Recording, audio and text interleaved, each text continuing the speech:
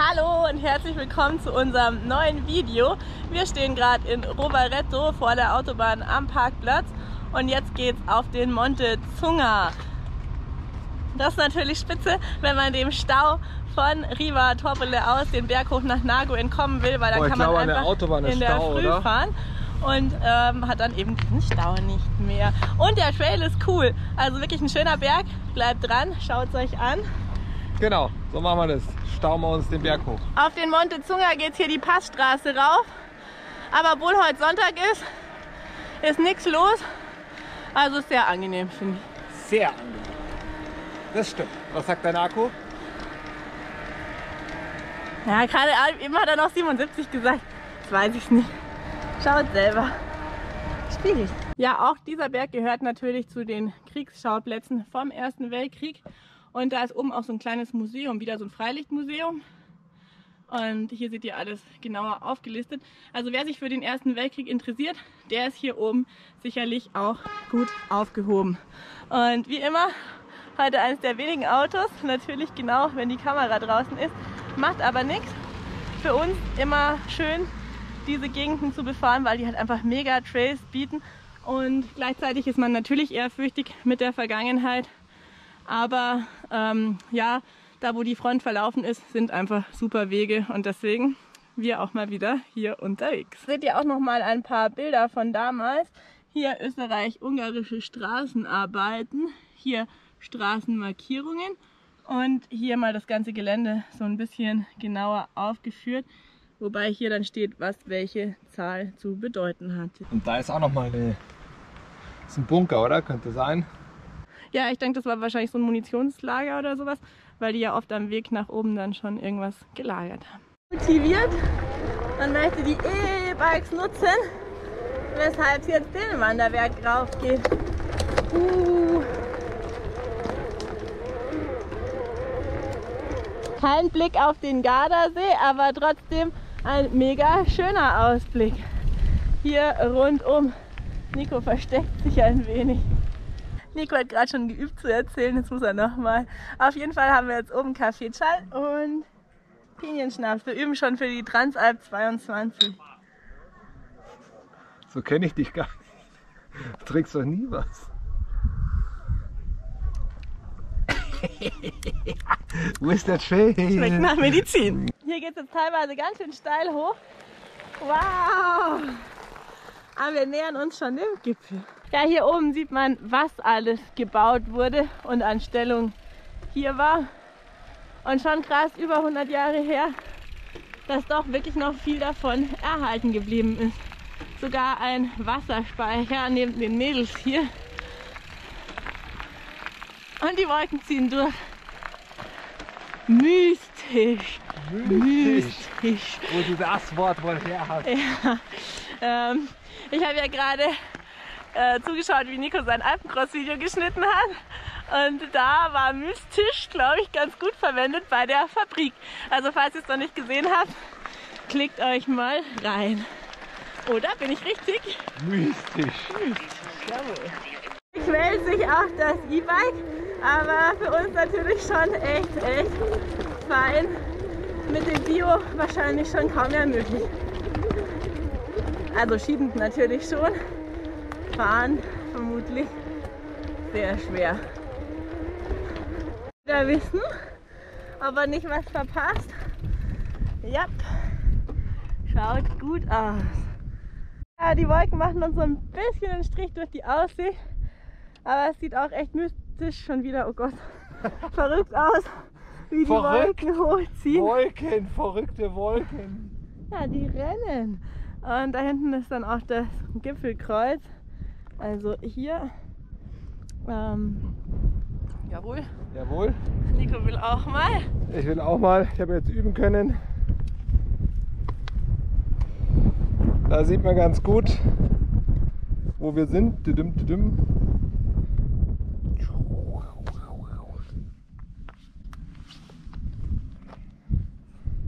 Und hier ist es live. Leider nicht so ganz perfekt, weil die Aussicht, wie schon Peter gesagt hat, mystische Aussicht, gell? Ja, und der Bach Fein. ist auch ein bisschen brauner. Hier Ja, ist der er braun. blau.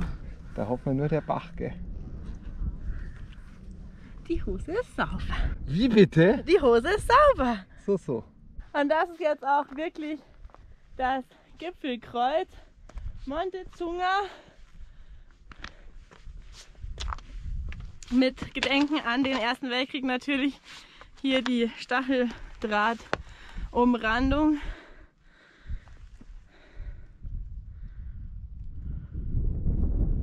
Ja, sieht schon böse aus. Das ist denn jetzt? Kommt dann immer rüber. Wahnsinn. 1864 Meter hoch. Und darüber haben wir auch tatsächlich noch gute Aussicht. Sehr cool. Hier haben wir die Wolken nochmal im Zeitraffer für euch. Das sah nämlich echt wirr aus, wie die durch die Gegend geschossen sind. Das wollten wir euch auch zeigen. Damit ging es dann auch schon ab auf die Abfahrt. Oben ist es zum Teil noch der Weg, den wir auch hochgefahren sind. Dann gibt es aber auch parallel schon einen Trail, der ist zum Großteil relativ gut fahrbar. Teilweise hat er so ein paar ausgesetzte Stellen, da muss man halt dann aufpassen oder mal ein, zwei Meter schieben. Aber im Großen und Ganzen ein super Weg. So S1 bis S2 würde ich sagen. Also nicht allzu schwierig, sehr, sehr schön. Und ja, auf jeden Fall eine Radtour wert. Bei uns war es so, dass es yeah. hier oben trocken war, im Mittelstück dann allerdings nass und unten zum Glück wieder trocken. So konnten wir dann doch noch einigermaßen drüber fetzen, weil wer die Gardasee und Umgebung kennt, der weiß, wenn die Sachen dort nass oder yeah, auch nur feucht sind, dann ist es nicht dasselbe, wie wenn man die ganzen Geschichten trocken haben kann. Und also für mich ganz klar, ich bevorzuge das alles trocken. Dann habe ich Kontrolle über mein Radl und das ist mir heilig.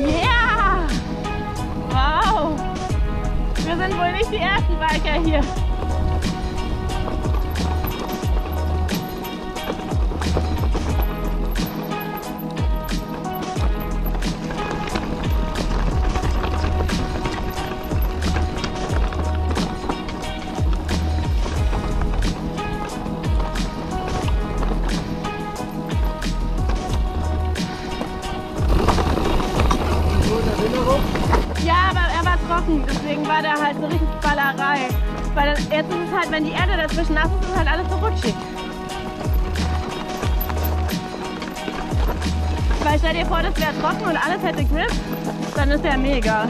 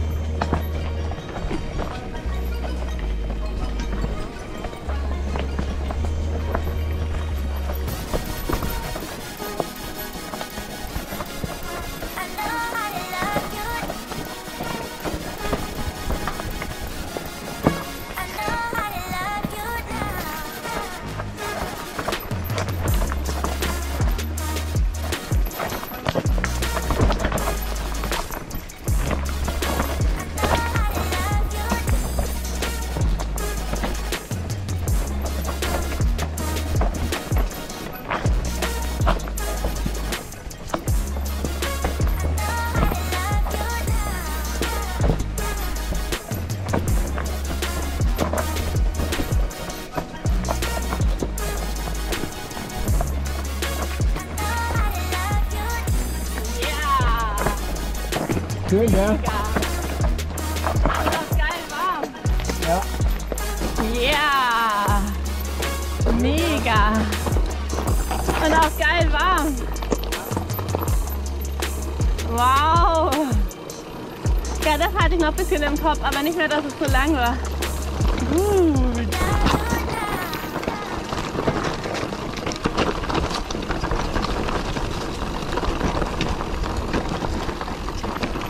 Ein Baum.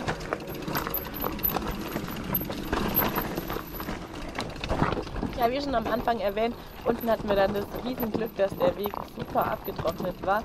Oben denke ich mal, dass der Wald einfach zu dicht ist und vielleicht auch noch nicht so viel Sonne hingekommen ist. In echt war es ja so, bei der Auffahrt war es noch schön. Oben beim Kaffeetal war es dann schon ziemlich wolkenverhangen. Und dann haben wir da noch kurz Pause gemacht auf der Bank nach dem Kaffeetal. Und dann ist es wieder richtig klar geworden. Und erst da haben wir beschlossen, dass wir den Gipfel tatsächlich mitnehmen. Zum Glück, das war es auf jeden Fall wert. Die Aussicht von oben ist schon nochmal um Welten besser als das, was man eben sonst so bei der Auffahrt und bei der Hütte mitkriegt. Also ja, solange man die Zeit hat und das Wetter einigermaßen mitspielt, dann lohnt sich dieser extra Aufwand zum Gipfel definitiv. Auch wenn wir es tatsächlich fast nicht gemacht hätten. Zum Glück, zum Glück haben wir es dann doch noch getan. Und ja, hier unten war es dann wirklich Trail-Spaß ohne Einschränkung. Oben im, im Mittelteil, sagen wir es so, also oben war es auch super, aber im Mittelteil das Nasse war schon echt mit Vorsicht zu genießen und hat sich dann schon fast ein bisschen gezogen gefühlt. Aber hier, seht ihr, da war die Entschädigung dann auf jeden Fall schon wieder da.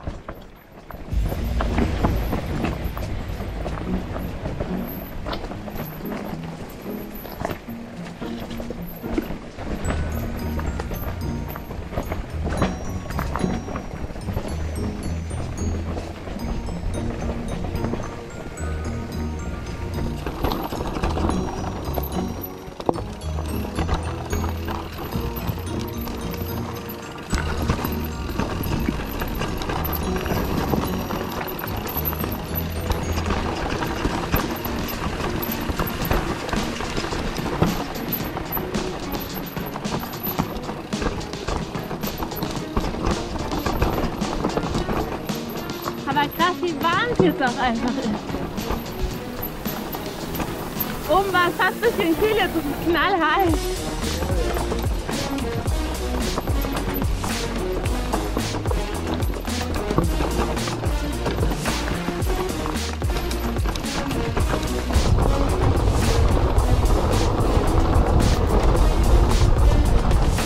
Gut zurück am Bus.